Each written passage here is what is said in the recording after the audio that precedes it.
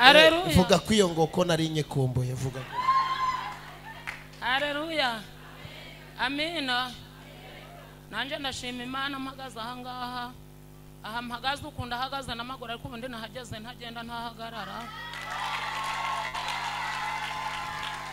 Aho. Amina ndaza uyu mupasiteri ndamushimye imana umuha umugisha. Imana imumugisha yaransengeye nari nararwaye pararizi imyaka itatu. Wageze hano ari kwa kangahe? Nageze hano aransengera ndakira. Eh? Wageze hano ari kwa kangahe? Ntabwo nibuka umunsi ntabwo nakwibuka nanjye ntabwo iba mbiba eh ni mu giterane. Ari ku wa gatanu. Eh eh, iyo ngoko hareruya ubwo kutwuko umugabo yari yaranyanze kubera ubwo bumuga nari ndwajijwe n'abana. Umugabo sinzi ukuntu byamugeze sinzi niyo yabaga. Hashize ibyumweru bibiri mba mu rugo. Nagiye kumva ari nijoro numva umugabo ari gukomanga araje yewe ngira ubwoba nanga gukingura. Ndavuga si umugabo amaze igihe ntazi yaba. Ari kuza gukomanga ngo ninkingure ndavuga ati se ko wasize ntagenda umwana undwaje ko yasinziye. Ur- ndaki- uraki- birakingura urakinguka bigenza ute? Aravuga ati kingura mfite amakuru ko wakize haleluya nanze gukingura ahubwo mpamagara mudugudu ndamubwira ngo ngwino urebe wa mugabo wari waragiye umanze umenye ngo aje afite iki. Mudugudu yaraje ubwo bahageze ndakingura umugabo ndatambuka ndagenda. Biremera arongera ati tambuka ndatambuka. Arambwira ati se wivuje. He amubwira ati ni imana yangiriye neza imana yankoreye ibitangaza. Arambwira ati ajya kugenda yari yagurishije umurima yanyoheje. Arawugurisha ngo agiye kumvuza ndanamusinyira ahitira ko agenda. Ubwo nyine kubera igitangaza acimana nanjye hano ndi umuntu ubabaye kandi umeze nabi. Ni murumuna wanje wantegeye nawe ntiyanzana. Bangejeje abansigaha baragenda. None umugabo kubw'uko yanagarutse yavuze ati uwo mupasiteri umujanire ino nkoko umunshimire ati nanjye ndifuza kuzamenya ahantu hari nkamusuhuza nanjye akansengera mu mpera imana icyubahiro.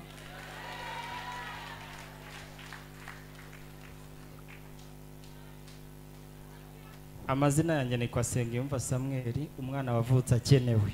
Aho. Icyo nshimira imana cya mbere. Ngwino hano Fisto Yes.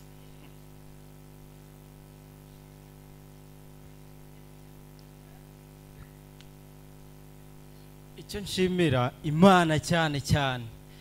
Njye n'umugore wanjye mukashyaka mediatrice. Sengiyumva Samweli papa tunezerwe Queen Teta ni umwana w'imfura yanjye. Uwa kabiri ari we gitangaza. Se. marayika nabonye muri iyi nzu ejo bundi. Mm. nuko yitwa isezerano yo. isezerano ganza eh. Orore Ukuri. bisobanura umucyo w'imana. Mm. papa nindamuka nguhemukiye njye mbivugiye imbere y'aba bantu. Imana yo mu gihugu cyo mu ijuru. Naje mpamagawe. Izabimbaze. Impamvu ntaje ku murongo mbere y'abandi ni uko mubona mba ndi kubanyuramo. Kandi tugendane neza imana yo mu gihugu cyo mu ijuru. Ijye igukomereza iguha amaboko n'imbaraga n'amavuta. Uyu mugenzi wanjye. Twahuriye hano ariko ubucuti bwanjye nawe. Nawe nindamuka nguhemukiye. Imana izabimbaze. Ikindi cya kabiri si uko hano hatari abandi. Hari n'abandi mu bantu bacisha make mu bantu bavuga make mbamo. Ariko njye ndi umugabo sahize ushima imana. Ubu ngubu murabona yuko rero muri make njye nihuse uyu mubyeyi ngewe twa- twamubonye kuri youtube njye n'umugore. Noneho umugore nari ndi- mu gikoni ndimo ndateka. Noneho umugore arimo arareba arimo aramureba arambwira ati uyu mukozi w'imana tumurebe. Umva nirukanka ku muhanda ngura amayinite.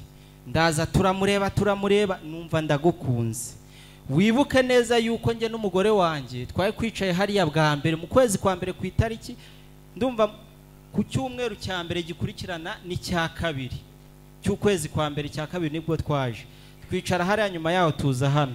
Uraduhanura tubwira ngo abana ndabona abana babiri bihuse umuhungu n'umukobwa.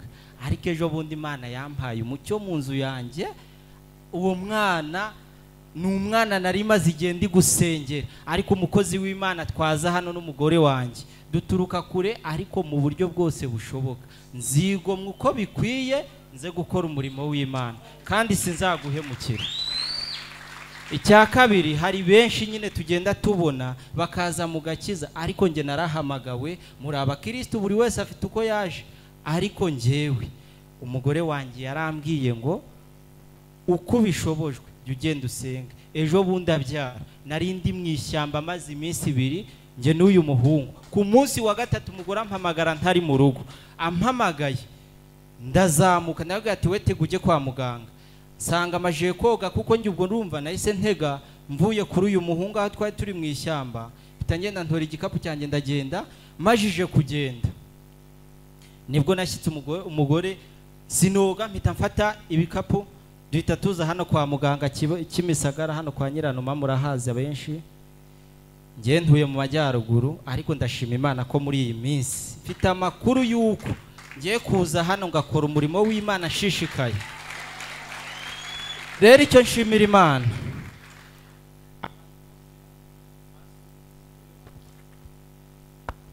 Abantu bose ba- baziranye n'umugore wanjye aho aragere hano. Yambwiye ngo mbasuhuze. Ariko ikintu gitumye nshima imana ni uko uwo mwana nari maze igihe nsenga cyane kandi uhora ubimbwira yego si we wabimbwiye ariko ndatekereza ko ari we muntu wa mbere wabimbwiye si rimwe si kabiri wampanuriye. Rero mu minsi iri imbere umugore wanjye namara gutora akabaraga. Tuzaza tuhatwike kandi nizeye yuko imana igiye kutugira neza. Murakoze cyane kandi dukomeze dukore umurimo w'imana hamwe n'abandi murakoze. Haleluya umere imana icyubahiro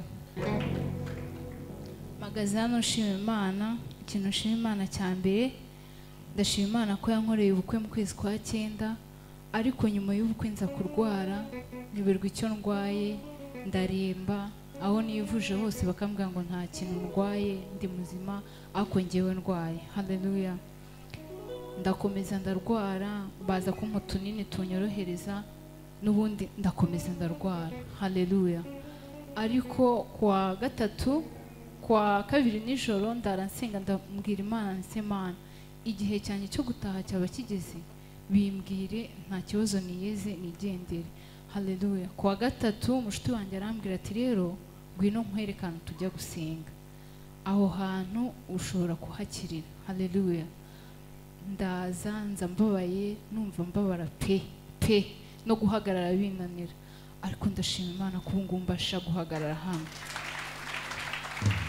Ndashima imana urumva amasaha yo gutaha yarageze ndavuga se mana ko nta kintu nsubije? Naje nakubwiye ikibazo mfite niba ndi uwo gutaha nigendere niba ndi uwo gukira nkere. Haleluya umukozi w'imana nkora arambwira ngo uburwayi ufite burakize. Ndashima imana rero ndashima imana cyane. Ko yangiriye neza nkaba nanjye nakize nkaba mpagaze hano ni ukuri imana imumugisha kandi mwongerera amavuta mumera imana amashyi amen. Turasa ku ndego Shimwa Yesu mucunguzi. Shimwa mana yamutanze. Shimwa nawe muka wera. Wamutumenyesheje Wowe nujya uhemuka Kandi nukoze isoni Habwa ikuzo mana yacu Kukura bikwiriye. Haleluya Eh, amazina nitwa Ntirushwa amaboko Felix Eh, ndi umuhanzi ku giti cyanjye. Nyoboye icyumba abahiriwe ba Kristo. Turase ku ndego hanyuma igitumye nshima imana.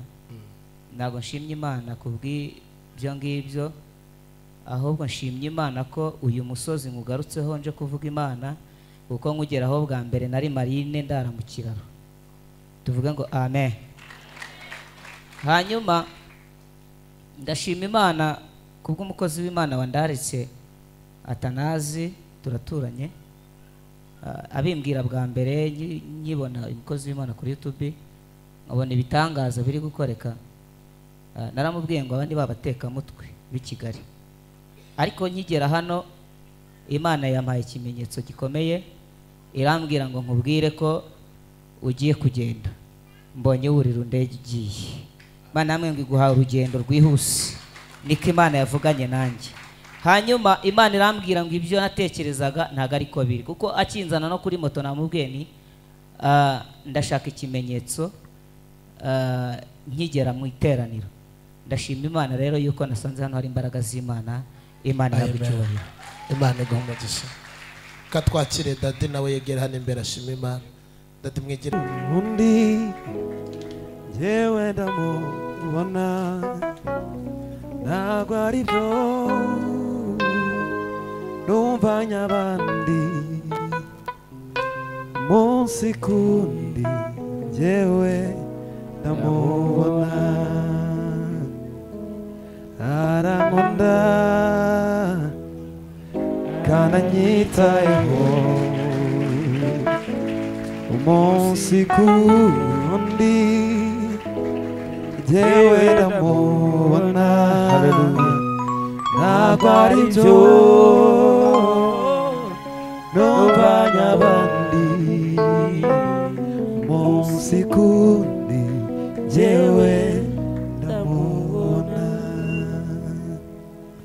ni we nshuti yanjye yanjye ndutira izindi iyo nareka kunyumva abana nanjye mu bihe byiza ndetse n'ibibi.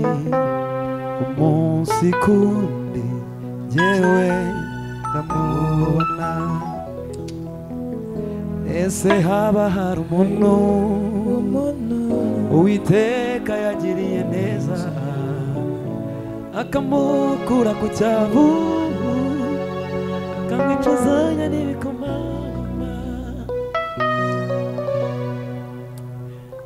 Amen.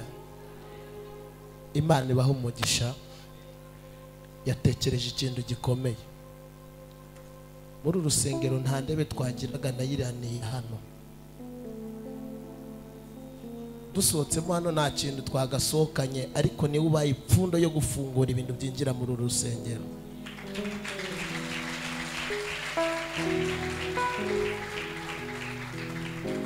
Iyi ndebe ni ikintu gikomeye. Iyi ndebe yo nageze mu materaniro ngayicaramo iba nicaye hejuru y'ibigeragezo byawe byose. Ndabizi ko dade nicaye mu iyi ndebe. Nzajya mba nicaye hejuru y'uguhangara wese.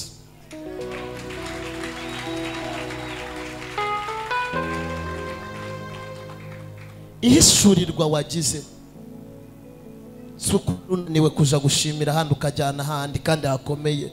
Imana yaguhaye izina rikomeye muri iki gihugu cy'u rwanda. Ariko imana yambamagaye ikaguhamagara ikaduhuza tutaziranye izakomeza igutsindira intambara zose.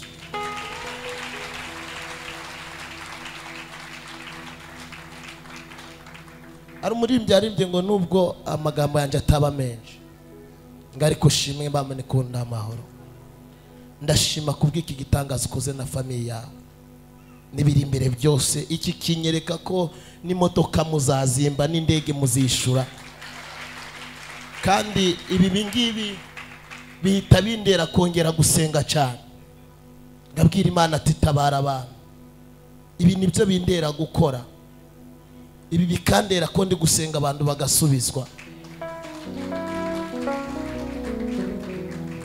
Mu bantu nasengeye bose ngana guca nta muntu uramba imbaba nta n'umuntu uranjigikira ngo wanzengeye. Ariko mu buzima bw'imana yambamagaye ingana guca nasenga. Niwe ufunduye ikintu urambereza mu biganza. Ndizera ko amavuta yanjye imana mbamanya na yo. Ntabwo uzayahomberamo ntabwo uzayababariramo. Ndabizi ko imiryango yose yiborotse izakinguka. Umutima wanjye urishimye kurusha ibindi byose.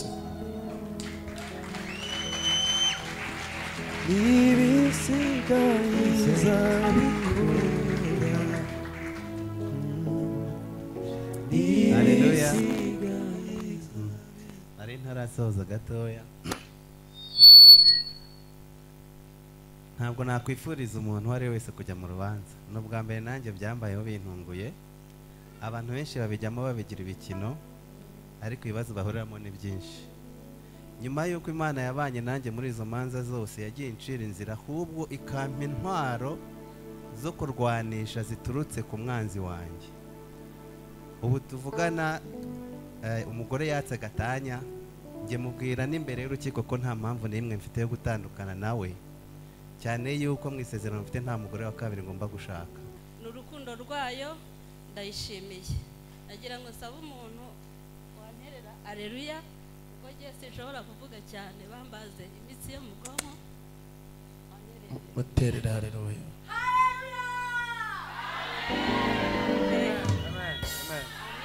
Amen. amen. Imana ishimwe cyane. Amen. twongeye gushima fisito fisito namubonye kuri yutubi nasengaga. Ngenda umuntu wivukira za nyaruguru mu bagatolike ntabwo tuzi iby'aya madini. Ariko mubonye kuri yutubi numva ndafashijwe. Nararwaye cyane ku buryo napfuye nkazuka ariko buri imana iracyafiteho umugambi mwiza. Ndavuga nti ninkira nzajya kureba uriya mupasiteri. Ubwo amahirwe ndakira mugiye mu buhinde barambaga nari nacitse imitsi yo mu bwonko ariko ku bw'amahirwe imana ibona ko hari icyo nkimaze mu isi ndagaruka ubw'urukundo rwayo. Mu by'ukuri hano ntabwo mpasengeye kenshi ariko ikintu kinjombaguye mu mutima ni ishimwe ry'uyu mugenzi wanjye. Igihe kimwe nkigera hano baduhanuriye umunsi umwe none we arashubijwe. Ariko ntabwo mugiriye ishyari ahubwo shimye imana. Biranankorogoshoye binteye gushima imana. Ndavuga ngo ubwo iby'abandi biri gusohora nanjye hari ibyanjye byasohoye hari n'ibindi bizasohora. Yego. Eh. ikindi kintu kinyirigise wa muporotokoro arera wa wundi wavuze ko azimuka. Ndeba ukuntu yitanga hano ari gufata abarwayi igihe cyo gusengera abarwayi akoresha imbaraga nyinshi. Ntabwo nari nzi ko ataha kure. Mu bushobozi buke mfite. Igihe uzimuka. Inzu uzimukiramo sinzi uko izaba ihagaze ariko nzagutangira icya kabiri.